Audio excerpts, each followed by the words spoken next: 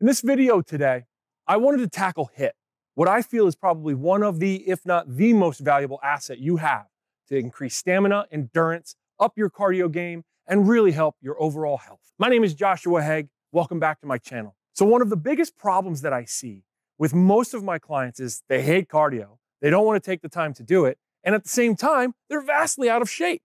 Well, how do we fix that problem? Enter HIIT. HIIT is high intensity interval training. And it's, as I said, one of the most valuable tools that you can use. You don't need any tools, as in workout equipment, or you can use an entire weight room. The choice is yours. I personally like to do things that are more body weight, more plyometric, meaning jumping. But if you like to use some weights, I'm going to walk you through a couple tactics that could help you.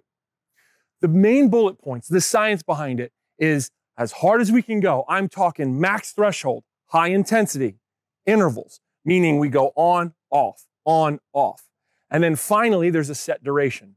The most advanced people, most advanced lifters should not be doing HIIT for more than 15 to 20 minutes, right? So if you're a beginner, if you're just starting out, I want five to 10 minutes. You're thinking one to two exercises. You're thinking as hard as you can do it, as many reps as you can do in a set time, and then you're gonna set your rest time.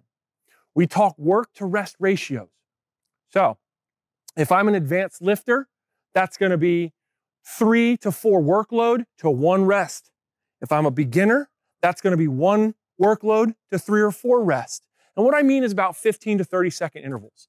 Usually I like to see for my advanced people about 30 seconds, 30 to 45 seconds of work. So maybe I'll sit down on this assault bike and I'm going to pedal as hard as I can for 30 to 45 seconds. And then what I'll do is I'll rest for about 15 to 20. And that's an excellent work to rest ratio.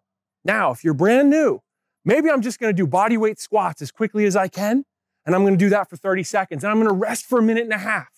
It depends on you, it depends on your body. The most important things to think about are that work to rest ratio and to do exercises that you don't need to think too much at. You don't need to try so hard at. It should just be something that you can put effort behind.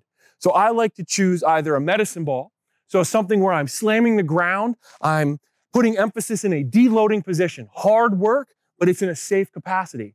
I also like kettlebells, a kettlebell swing, or something, maybe a snatch, but that's gonna be more advanced and a little bit weighted. You won't get the same feeling internally, but it's a really good opportunity. And then finally, my all-time favorite, I do it every week, is the good old-fashioned assault bike. You'll also see in some gyms, they have the vertical rower. That's a great one too. Sit down, try it. 15 to 20 seconds on, 30 seconds off, 40 seconds off, whatever your body can do. But I bet, I bet that when you get done with that, you're going to be drenched in sweat and probably not able to breathe very well. Continue this every week, once a week. I don't need more than that. We want to be careful of burning out our endocrine system, our hormones.